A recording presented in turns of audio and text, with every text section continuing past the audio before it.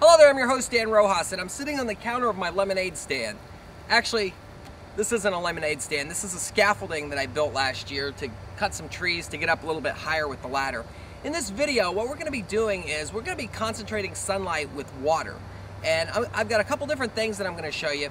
On top of this, I put a clear plastic tarp. It's a really thick plastic and we're to fill it with water so that it makes a shape and we're to see if we can get a good focal point out of it. I'm also to be showing you some interesting ways of concentrating sunlight with bottled water.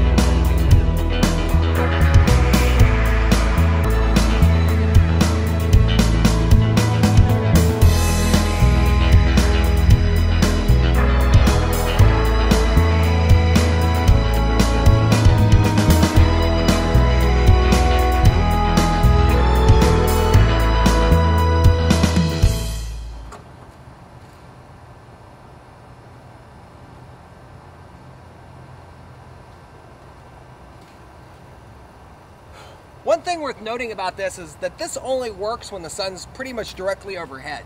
So this won't work in the winter time if you're in Florida like we are. And if you're in a really extreme northern area, it's not gonna work either because you pretty much have to have the sun directly overhead. The reason this doesn't work at an angle is because you just can't get water to stay in one position. Gravity's doing this. So as the water comes in, it creates this lens, which right now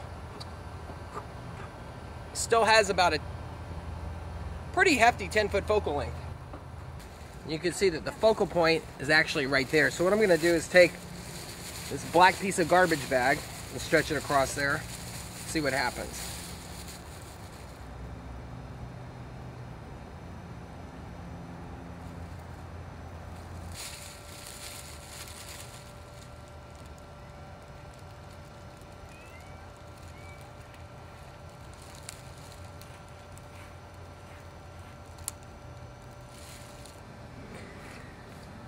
All right, now what I've done is I've taken a piece of wood with a little black spray paint in there. That way there's an area for it to, uh, to absorb some of the light because black absorbs sunlight better. And this has been on there for about three minutes, so I'm gonna get some readings. You can see that part of the wood already is 240 degrees just from that lens up above us.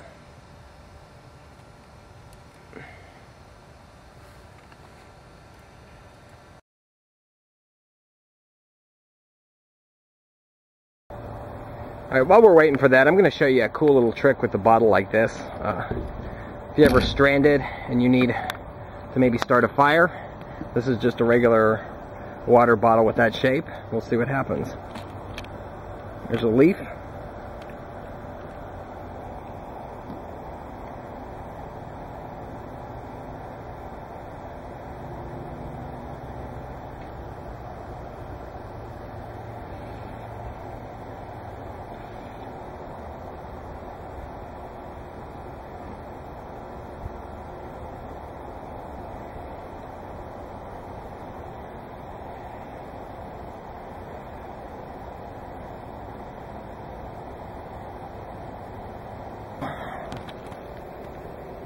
Anyways, you can see what we did to the leaf. I don't know if it's gonna...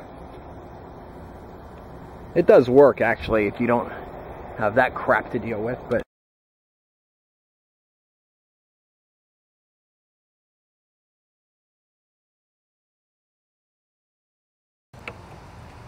While we've been waiting for the sun, I added some more water up there, and we have a pretty big lens now. It's probably easy three foot in diameter, so that's pretty cool.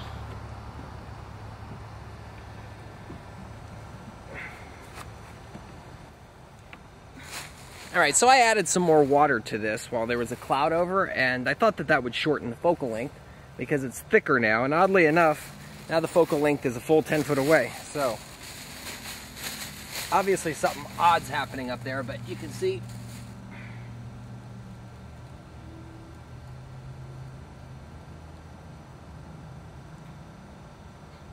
it's pretty incredible.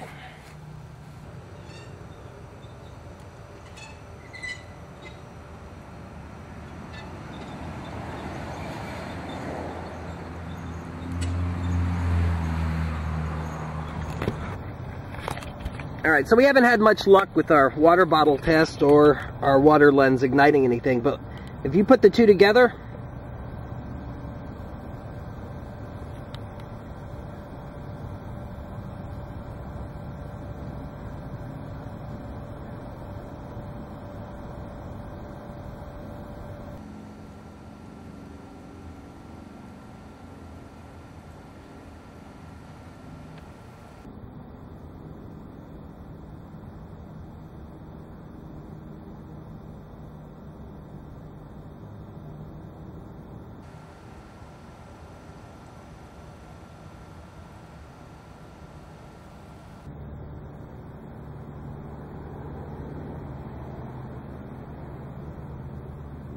I'm gonna get a temperature reading on this and see what these two together are producing. Wow, it's all over the place.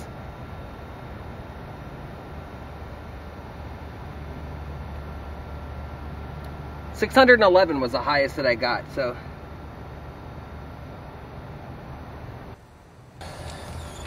So we were able to get a couple things going with these two experiments. These two together actually work pretty good.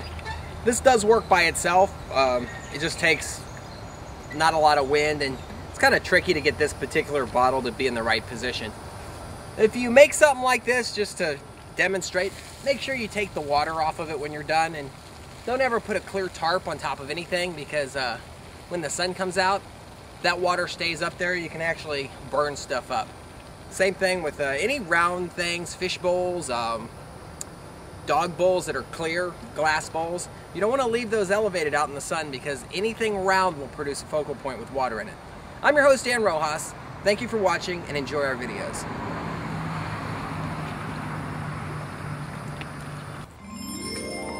One simple thing that you can do when you construct something is add braces like this. These braces add a ton of stability and it actually you can move this around like nothing. Without those, what I did was I took these vertical braces off so we could have a nice square when I did this. And you can see how if you start this area, that's not good right there. So when those braces are in like that, that won't happen. We put this on pretty much everything that we have. Anything that stands, they really help out a lot and they give it tons of strength.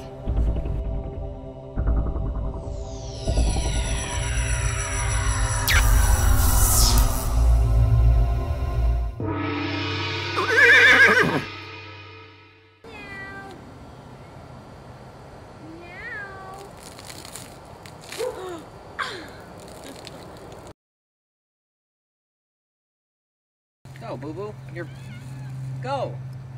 You you walk in. You got black fur. Okay, you walk in that line and you're gonna be in trouble. Go, go. Psst. It's kind of hazy out. It's not really a good sunny day, believe it or not. As you can see with the black plastic that with this amount of sunlight, absolutely nothing happens. I hate clouds. I really do. So our experiment is